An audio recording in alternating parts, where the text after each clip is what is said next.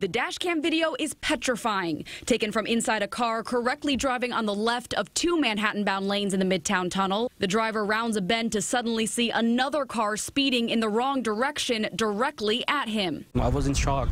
I was thinking about my children, my wife. It's a miracle I'm alive. The 37-year-old Uber driver had two female passengers in the back seat Sunday around 1:30 a.m. when police say an 18-year-old man with a learner's permit and high on marijuana and cocaine slammed through a barrier at the closed 35th Street entrance ramp to the tunnel and drove the wrong way for half a mile, going 20 miles over the speed limit until he totaled Zafar's car. I can't even open this door. I was checking to save my life to get out, so finally I found this door window down, so I get out from there. Everyone survived. Zafar and his passengers were rushed to the hospital. This side, both shoulder, and when I bend down, I got a lot of pain over here.